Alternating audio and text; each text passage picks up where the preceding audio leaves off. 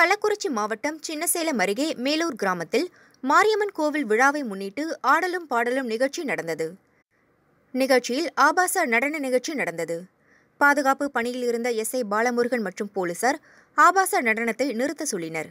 நிகழ்ச்சி ஏற்பாட்டாளர்கள் ஆபாசமாக நடனம் ஆடுவார்கள்தான் என கூறி எஸ். ஐ. பாலமுருகனை பணி செய்ய விடாமல் கொலை மிரட்டல் விடுத்தனர்.